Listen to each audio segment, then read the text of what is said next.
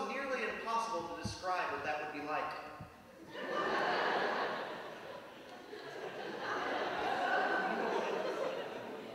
I like that joke for two reasons. I told it a couple nights ago, and uh, at a bar, nobody laughed except for one lady in the back.